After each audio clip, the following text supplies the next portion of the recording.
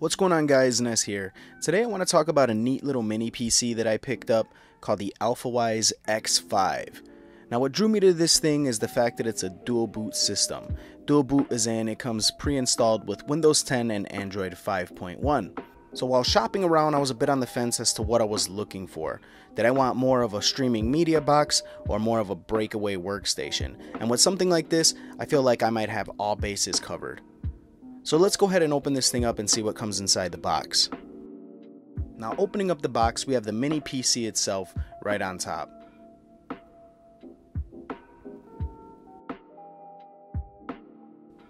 It's got your standard mini PC TV box look to it. You have activation instructions, as well as a basic operations guide. Now underneath here, we have the power supply, as well as an HDMI cable. Very basic packaging right here. As I said before, aesthetically it has a very basic design. Over on the back side, you have your port for the power supply, a USB 3.0 port, an HDMI port, an Ethernet port, as well as a headphone jack. And this is also where the power button is at as well. Over on the other side, you have two USB 2.0 ports as well as SD card slots. It comes with an Intel Atom X5 processor, 2GB of RAM, and 32GB of internal storage, so it shouldn't have any problem running any of the applications or PC programs I want of it, as well as the light gaming I plan on doing with it. I booted it in Android first, mainly because I was curious as to whether or not it would have a stock Android experience or if it would have one of those TV box style interfaces.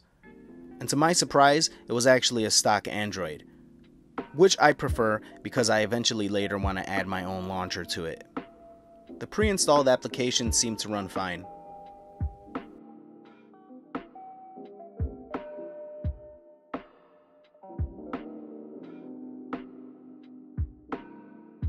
My streaming media applications seem to run beautifully as well.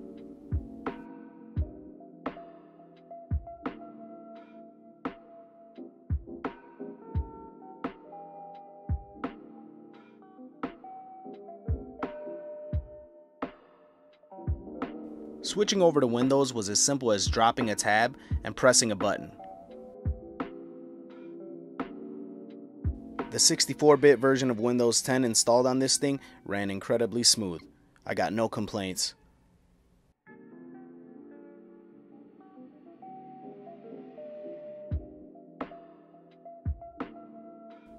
And because I am in fact a game head and feel the need to game on every device that I own, I decided to hook up my Hyperspin hard drive to this thing to see how well it would run the emulation on there.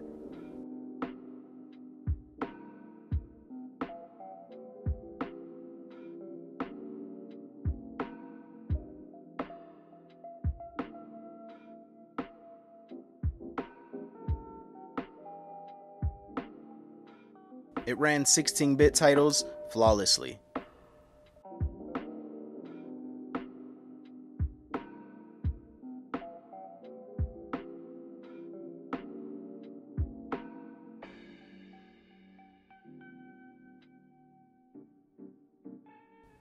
Sixty-four bit games ran good as well.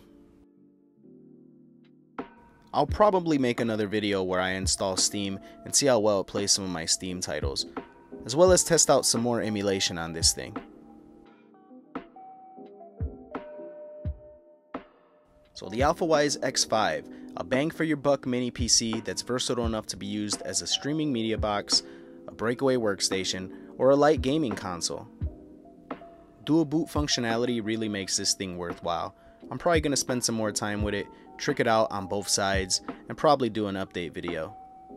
If you guys are interested in the Alfawise X5, I'll put a link in the description below.